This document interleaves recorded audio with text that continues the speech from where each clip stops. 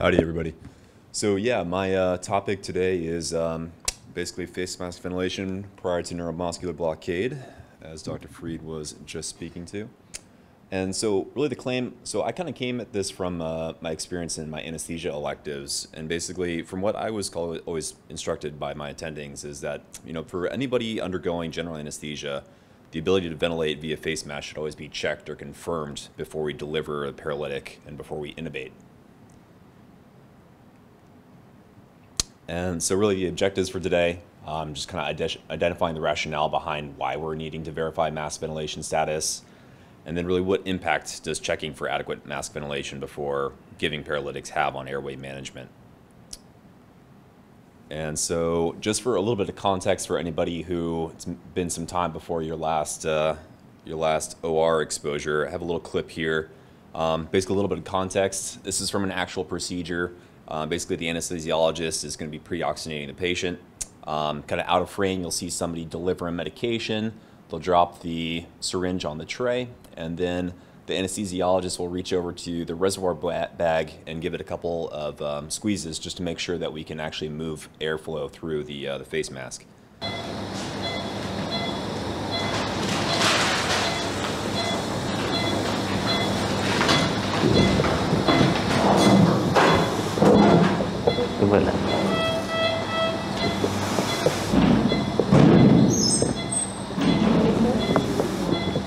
video cut pannirom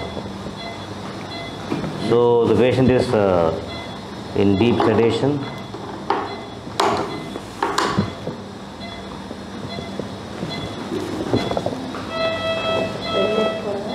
para so we have to do a trial uh, ventilation so And so really that's all it is. It's not anything that's overly exciting. It's just kind of a routine that basically everyone that I encountered um, at the vast majority of my uh, kind of rotations always said this is a step that we do. Um, typically what would follow is after face mask ventilation was deemed to be adequate, there wasn't any you know overall difficulty, we'd deliver the paralytic and then we try and intubate. And just kind of a little bit of backgrounds. Um, I tried to really see where this kind of rationale came from. Um, I had a little bit of trouble kind of tracking down the exact origin, but uh, just kind of a little bit of context to kind of show that uh, you know this is something that's you know been previously deemed to be necessary in the literature. So the sequence on the left is from a uh, kind of airway management guideline put out by UCSF for kind of advanced healthcare providers. And basically we see a little highlighted step there. So we've already administered our sedatives. So basically we've already induced. We're going to assess for ability to face mask ventilate. And then afterwards we can deliver our paralytic. The text page over from the right is from um, Morgan and Mikhail, which is kind of like one of the big books of anesthesia. Um, and then this is chapter is specifically in regards to kind of um, intubation sequence. So we see the paragraph above, pre-oxygenation, then bag and mask ventilation. A little bit more context to just kind of show the overall history of this claim. So the article on the left is from a 1991 um, kind of op-ed published in Anesthesia and Analgesia. Um, again, dogma administration of muscle blockade uh, should only occur after ability to mask ventilate is verified. And on the right, again, similar kind of uh, documentation showing that this is a long-standing uh, practice in the field. And so really the rationale behind this um, is kind of, you know, as we allude to in the Rubicon, you know, the bridge of no return and then the chase of agent, or the choice of agent. As far as kind of the bridge of no return, um, you know, the overall thought is that if the airway was unable to be secured or if the mask ventilation was too difficult, essentially after we've induced, the patient could simply just be allowed to awaken and we can use alternate plans, either, you know, um, fiber optic intubation, something along those lines in order to secure our airway. Uh, there's also some idea that um, when we're assessing face mask ventilation, kind of the overall quality of it can kind of help guide our choice of neuromuscular blockade agent, whether or not we want to use something that's fast acting, succinylcholine, or something that's going to be a little bit longer acting, like um, um, cisatracurium. And then on the right, basically, we just have an overall kind of uh, sequence as far as difficult airway management put out by ASA. And I think we're looking somewhere along those lines as far as where this step occurs. So before intubation, somewhere in there, we should be checking face mask ventilation. And so I guess kind of based on all of this, you know, how long does it really take for a patient to, to saturate? Um, so in 1984, uh, Drummond published a study in the British Journal of Anesthesiology entitled Arterial Oxygen Saturation Before Intubation of Trachea. Uh, the study was kind of split into two different parts. The first concentrated on arterial oxygenation, a group of 20 patients undergoing general anesthesia, and importantly, they did not receive any pre-oxygenation. This was kind of early, all, early on before really that practice of pre-oxygenating was just kind of established as the, the standard go-to. So in, the, uh, in that group, so the groups were analyzed for their overall smoking habits, um, their weight, height, uh, hemoglobin concentration, FVC, and FEV1. The patients were allowed to breathe room air, pre-medicated with uh, 10 to 20 milligrams of temazepam one hour prior to induction, and then under, underwent monitoring with both ECG and pulse oximetry, which was analyzed via an ear oximeter.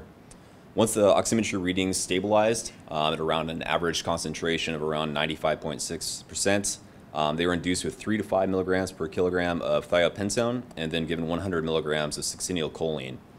The saturation measurements were then um, assessed one minute after apnea was achieved, and the average saturation at that time was 85.5%. Um, again, this was kind of the first aspect of the study. The second part was really looking to see what effect does pre-oxygenation have. So this first aspect, no oxygenation whatsoever. And the next one, we see a little bit more of a detail as far as what uh, pre-oxygenating these patients have. And so the group that we're looking at, or the table rather, that we're looking at here is table three down here. This is the second aspect of the study. So in that portion, uh, 40 participants were split into four groups of 10. Uh, each group was kind of underwent identical pre-medication and induction regimens and were given, additional boluses of thiopentone and succinylcholine to make sure that apnea was maintained throughout. Uh, the uh, oxygen saturation was then measured at one and three minute increments after induction. And apnea and was um, and apnea was kind of um, sorry one and three minutes post induction, and then oxygenation was uh, kind of given in different ways. So in the first group, basically all the participants were given a tight um, face mask, um, basically no air leakage. In the second group, there was a small hole poked in to kind of um, try and replicate a slight air leak. And in the third group, the uh, face mask was, or basically the face mask was applied. The participants were instructed to give three deep, full volume breaths, and then basically they were induced. And group four was not pre-oxygenated at all, but mask ventilation, uh, but were mask ventilated three times after inducing anesthesia. And so from that study overall, we see that, you know, for these participants, typically you know, at that one and then three minute mark, we're still around 96% saturation overall kind of throughout this. Um, there was another study conducted in, I believe, the early 90s um, by, I believe the pronunciation is Yancey. Apologies if that's incorrect. Uh, but basically, is looking at the effect of obesity on safe duration of apnea in the anesthetized humans and was published in Anesthesia and Analgesia. Uh, a group of 24 patients underwent general anesthesia and their oxygenation was measured.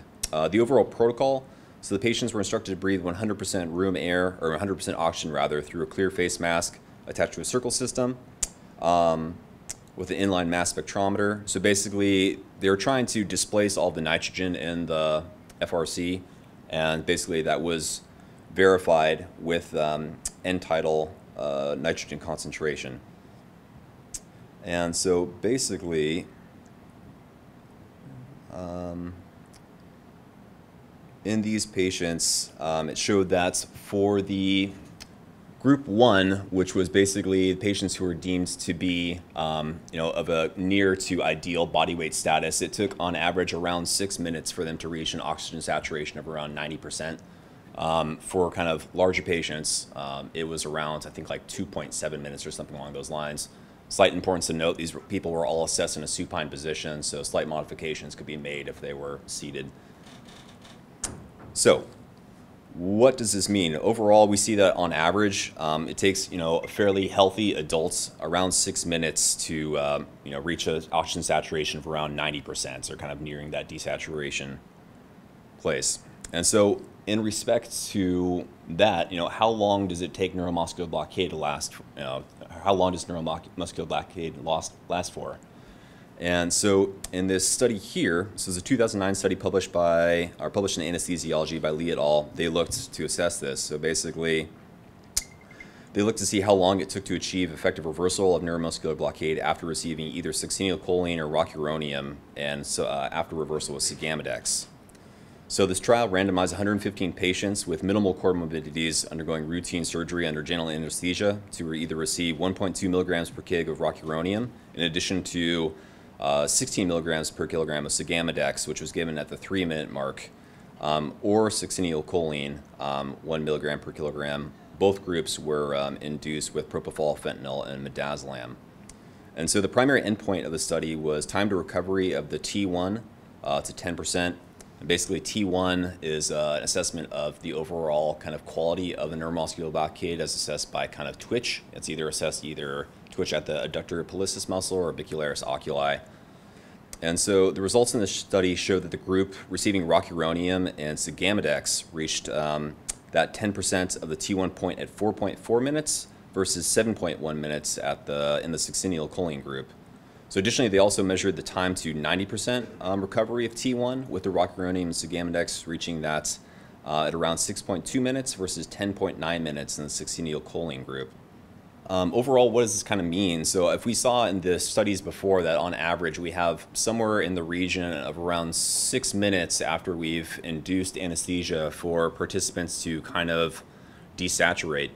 And if it takes, you know, around that six minute mark or so for patients to actually kind of recover, recover enough um, uh, neuromuscular potential, um, you know, this kind of maybe puts some question into the claims of, you know, if we deliver that um, blockade up front, then, you know, we're, or if we don't deliver that blockade up front, we're going to be fine to just let them wake up on their own. Uh, a little bit of context. So typically a patient is deemed safe to extubate uh, or an ardent interest likely to be able to effectively self-ventilate when the T4 to T1 ratio of 0.9 is achieved. So overall, just kind of what this means. So historically, shorter-acting neuromuscular blockade agents like succinylcholine may have been favored when there weren't concerns that a can't intubate and can't ventilate scenario may be encountered. However, we see that with the introduction of Sugammadex, the time required to achieve the meaningful return of neuromuscular function is somewhere in the ballpark of four to six minutes. Uh, these times are substantially longer in the succinylcholine group, and if we return to our claim, it is unlikely that if we were to encounter a truly difficult airway, like succinylcholine um, would be able to prevent a critical desaturation events. So essentially with Sugammadex, the choice of neuromuscular blockade agent is kind of questionable as far as how pertinent that, um, that aspect of our claim is in current practice. So, going from there, uh, what are the claim that neuromuscular blockade can potentially compromise our ability to mask ventilate by facilitating collapse of the oropharyngeal structures? And that was kind of the second component of the claim, that the reason why we wait um, to make sure that we can mask ventilate before we give paralytic. And just a little bit of refresher here. So this is the overall kind of um, overall kind of uh, demonstration of the neuromuscular blockade via a non-depolarizing agent. So basically, we have full twitch here after administration we have successive decline and then basically what they were monitoring is right around the point that we get to right here how long it takes to get to that point and then how long it takes to get to that point in that ratio in that previous study.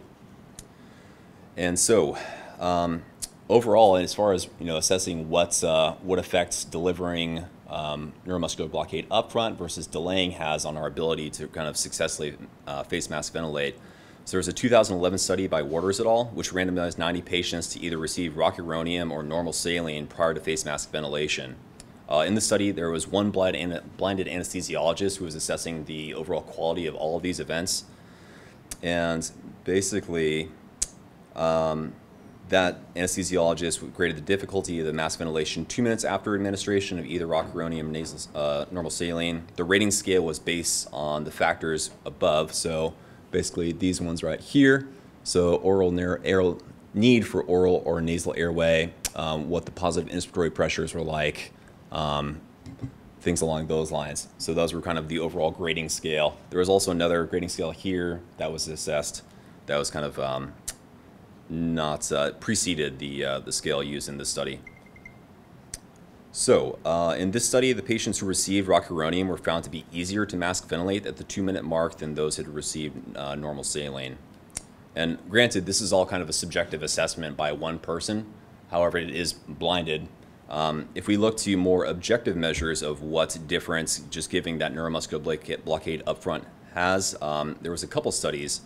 So the one that I was able to include here uh, is a 2004 study by uh, Sachdeva et al., in which 125 patients undergoing general anesthesia were recruited and were induced using fentanyl and propofol.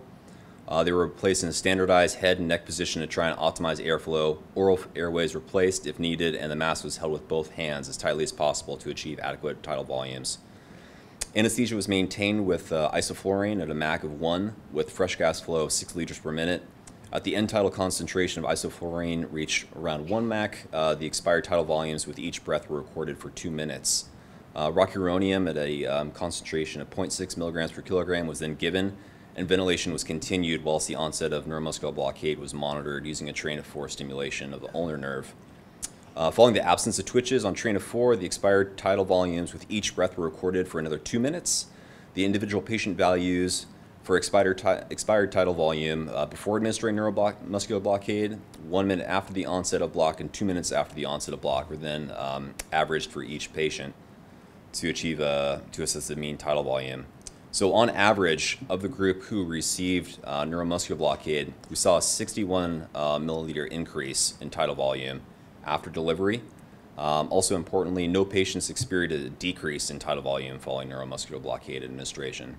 Um, as I alluded to, there was also another study that I was able to find, unfortunately wasn't able to include in this, but uh, basically in 20, uh, 2019, um, Min et al. published a similar, group, uh, similar study that was kind of looking at um, how um, what effect neuromuscular blockade had. So basically, a title called "Randomized Trial Comparing Early and Late Administration with Rocuronium Before and After Checking Mask Ventilation in Patients with Normal Airways." So it was a prospective RCT. 114 patients um, were given IV rocuronium before or after. Um, and basically tidal volumes were checked at 20 or 10, 20, 30, and 40, 50, and 60 second uh, increments um, in the group who received rocuronium early on, the participants had an average tidal volume of 552 mils versus the late, which is 392. Um, also important to note, the groups that received uh, the neuromuscular blockade upfront were able to be intubated at an average time of 116 seconds. Um, the ones who received that neuromuscular blockade later on, they had to wait until around 195 seconds to intubate. And basically, the overall uh, stop go on the intubation was assessed by um, uh, train of four monitoring. And so, of those two studies, so in the previous studies, we've seen kind of data that refutes, you know, aspects of our claim, suggesting that neuromuscular blockade prior to face mask ventilation actually improves, you know, face mask ventilation. Um, but you know, overall, what evidence kind of exists suggesting what adverse outcomes might occur if neuromuscular blockade was given upfront?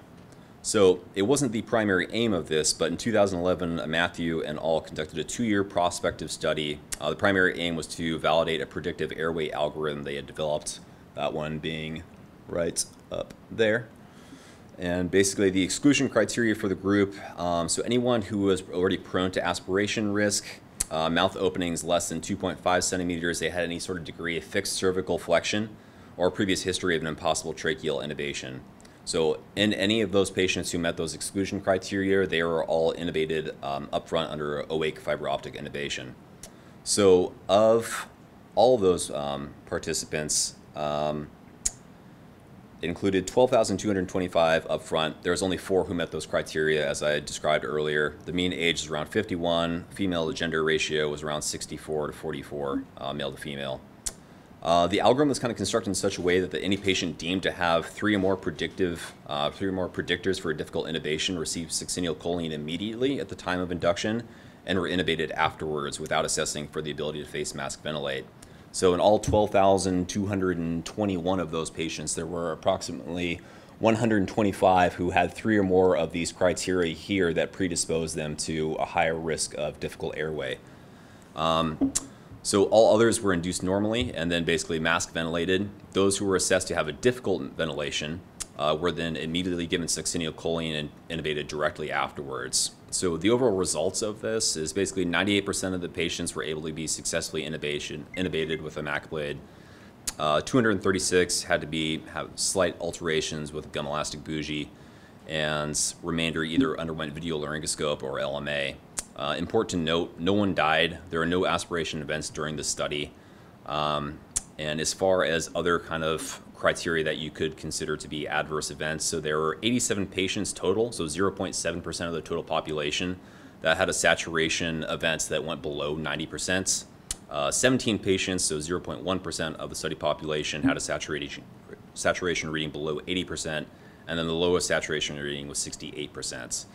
And so overall, the reason that why I kind of included this in the study is even though the primary aim was really not conducted with the intent of assessing, um, you know, what our overall claim focuses on, you know, we saw approximately 12,000 patients who were able to be managed with minimal adverse events and no catastrophic events when neuromuscular blockade was given upfront. And I think more importantly, of the patients who were deemed to be the most likely to have a difficult airway, you know, those 125, no adverse events were encountered in those patients who were just given paralytics prior to.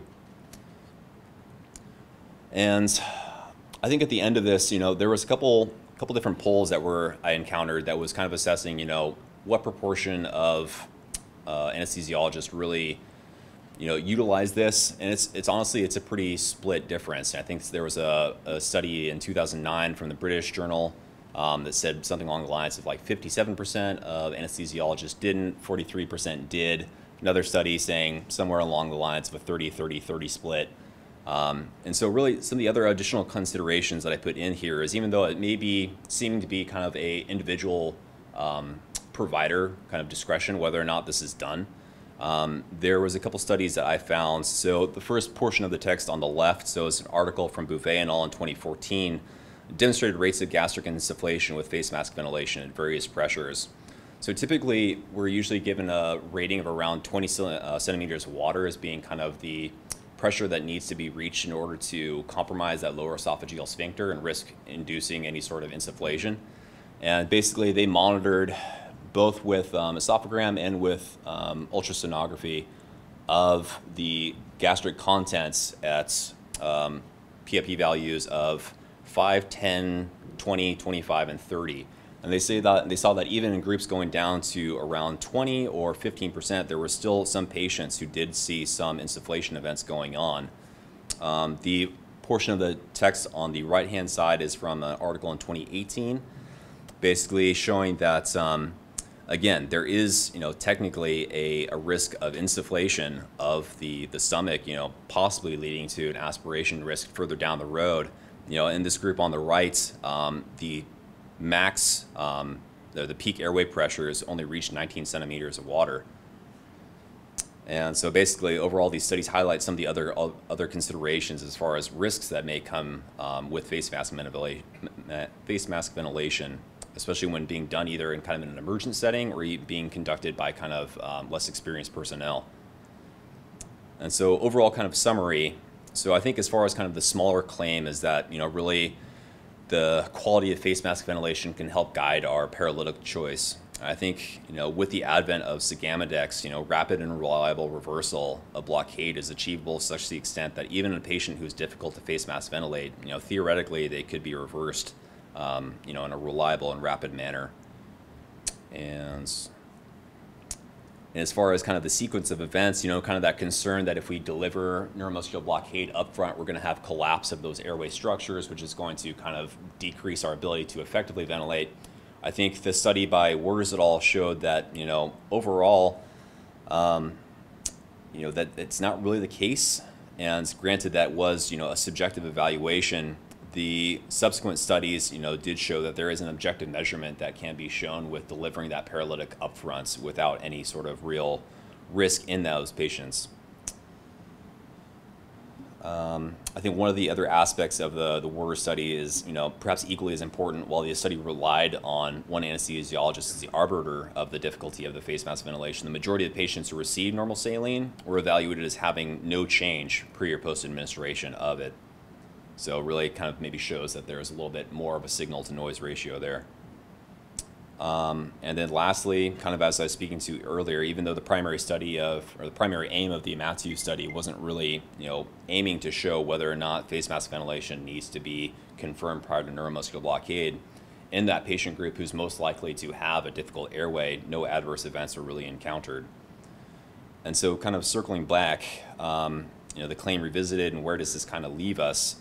Um, you know, I think I think you could make the argument that in certain patients and in certain populations, you know, we can we can get by really without needing to ensure face mask ventilation. So one of the, the caveats to this though is so to date none of the studies that really I encountered specifically sought to randomize patients to either undergo face mask ventilation or not and assess the outcomes.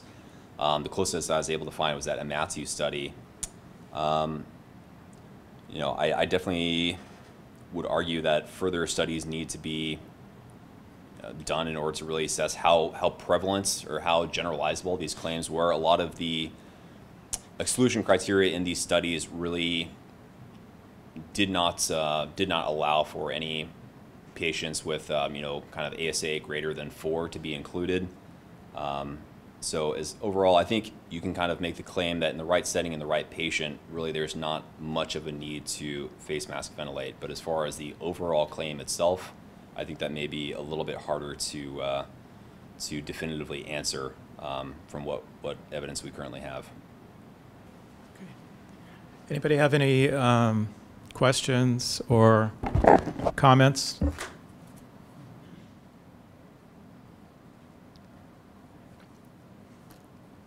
We do have an anesthesiologist in the audience. What do you think? When, when I was practicing, usually we use the modified one. We would do the ventilation after giving the neuromuscular block, mostly because we were afraid that we were doing the ventilation with the not the neuromuscular block. We know that neuromuscular block decrease the uh, increase the patency of the airway, so it's just so much easier. And the, the we were afraid that we would just distend the stomach. Yeah, we don't want that, so we're trying to minimize that. So we usually will do the what we call it the modified ventilation technique, like to try to ventilate after, and then we'll wait, and everything was going okay. Then it just give you a peace of mind that we have time in case things doesn't get as predicted. And then my practice, we didn't have like video laryngoscopies. We were using a Macintosh and a bougie, and we have to deal with that, right? Um, the other thing, and then with the, because also with the advent of the Sugammadex, it's just a reverse so quickly. There's like the same time that you, the patient will wake from the, the, the sedative, the hypnotics and the other medications give. So there was not even at least when I was practicing, I never had this uh, routine to ventilate prior to give the neuromuscular block. I would do, but I would do after. Yeah, yeah, and I think, um, said, it was really practicer or provider dependent on the depending upon the rotations that I was on. I think there was maybe a little bit higher of a likelihood for kind of residents to make sure that that you know you could face mask ventilate before giving that blockade, as opposed to some of the attendings where they're just like, no, nah, just give it and let's get this rolling. Um, I think one of the other aspects that I, I, didn't really expand that much on is that you know a lot of these studies were conducted in very controlled environments by senior anesthesiologists. Um, you know how applicable this is as far as you know to Dr. Freed's points that we were discuss discussing before. You know how applicable this is this uh, in an ICU setting where things are a lot less predictable, where you have a lot sicker patients, um, is a lot less clear. Um, additionally, like I said, the exclusion criteria really didn't include any like morbidly obese patients, no pregnant patients, no really sick patients. And so anybody who doesn't have that FRC that's going to allow them to have that around six minute, you know, reserve of oxygenation, you know, the question of whether or not maybe you want to be a little bit more careful is kind of questionable. Um, so yeah, I think if you, depending upon how you kind of split this myth, you know, as far as whether or not everybody needs to have this, you know, checked or confirmed, I think maybe that you could say is is debunked. But as far as you know, do some patients still need to have this confirmed? I think that one's maybe a little bit harder to definitively kind of slap away, just because we don't have a ton of evidence that directly uh, addresses those those questions. I think it's important to remember that that patient population is completely different than what we have in the ICU. Rarely do we ever have patients who are fasted. Rarely do we ever have the option of changing our mind and saying, oh, I'm not going to intubate this patient. We're almost always tube has to go in one way or the other.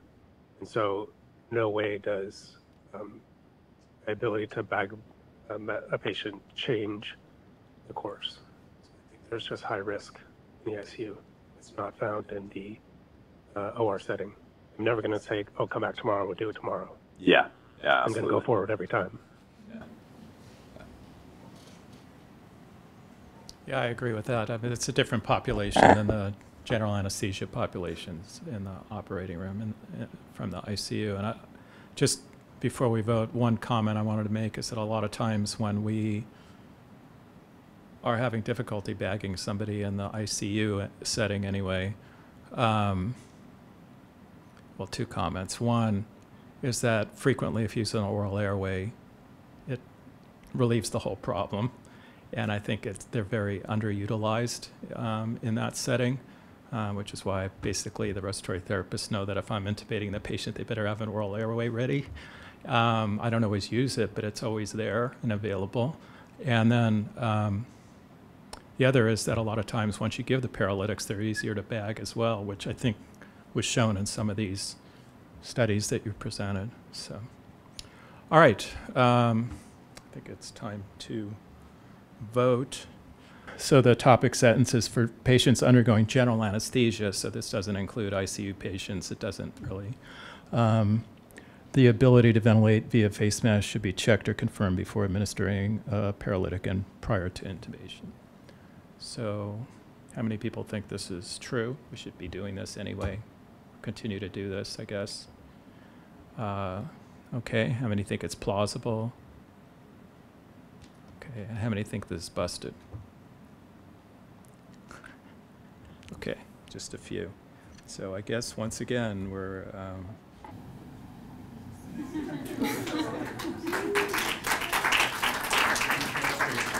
Good job.